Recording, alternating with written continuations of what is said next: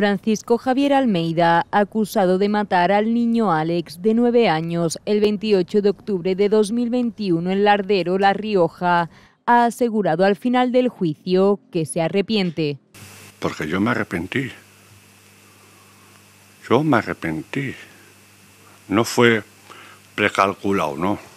Me arrepentí de verdad y se ha excusado en que le sobrevino una fantasía mientras le enseñaba un pájaro. Alex vio al pájaro. Era muy bonito, le había gustado.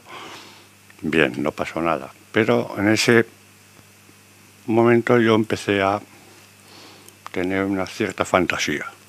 Unas palabras que chocan con la del fiscal, que ha definido a Almeida como un depredador sin remordimientos. Es la labor del depredador.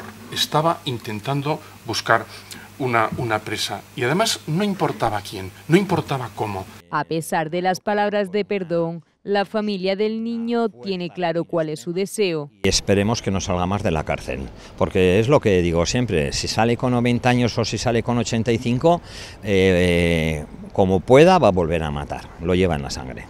De esta manera, el juicio queda visto para sentencia después de que hayan comparecido ante el jurado los agentes que encontraron al niño, psicólogos, forenses y el padre del pequeño Alex.